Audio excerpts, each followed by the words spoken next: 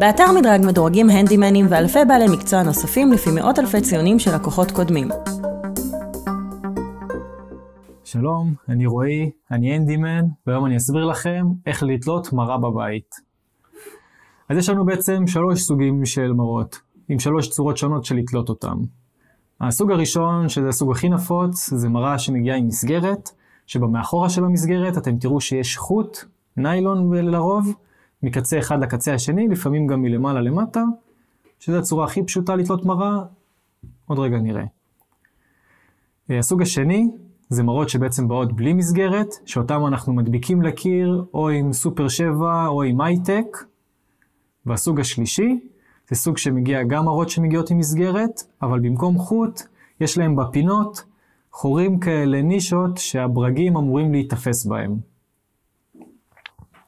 היום אני אראה לכם איך לתלות מראה עם מסגרת שיש מאחורי החוט. מה שאנחנו עושים בעצם, אני קודם כל בא למראה, אני בא לחוט שלה, אני מותח אותו כלפי מעלה, לוקח מטר, שם את הקצה שלו באמצע החוט ומותח כלפי מעלה, ומודד את המרחק כשהחבל מתוח כלפי מעלה, מהאמצע שלו הקצה עד לקצה של המסגרת העליון של המראה. את הנתון הזה, אני מוריד ממנו בערך חצי סנטימטר, כי כשהמראה תשב על הקיר עם המשקל שלה, היא בדרך כלל תרד עוד טיפה. אז בואו נגיד אם יצא לי 5 סנטימטר המרחק כשאני מותח את החוט מהלמעלה של המסגרת עד לחוט, אז נגיד ניקח בחשבון 4.5 סנטימטר.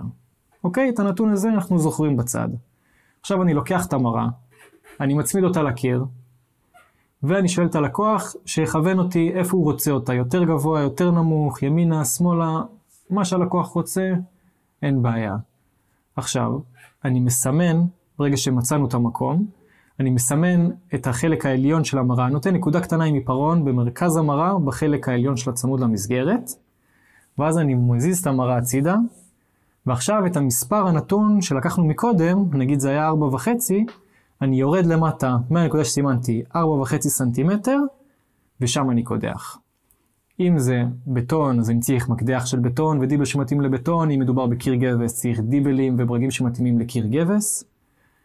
קדחתי, שמתי את הדיבל, שמתי את הבורג, הברגתי אותו כמעט עד הסוף, לא ממש יהיה צמוד לקיר, להשאיר איזה חצי סנטימטר, כמה מילימטרים רווח, כשהחוט יוכל להיתפס עליהם, ובעצם כל מה שנשאר זה רק לשים את המראה עם החוט על, הדיבל, על הבורג, וסיימנו את העבודה.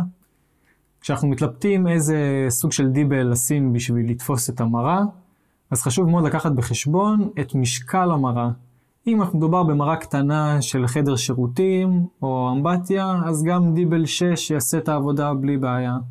אם מדובר במראה קצת יותר כבדה, עדיף כבר לעבור לדיבל 7 או אפילו דיבל 8.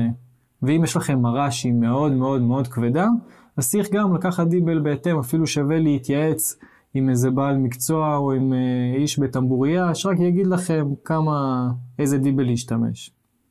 באתר מדרג מדורגים הנדימנים ואלפי בעלי מקצוע נוספים לפי מאות אלפי ציונים של לקוחות קודמים.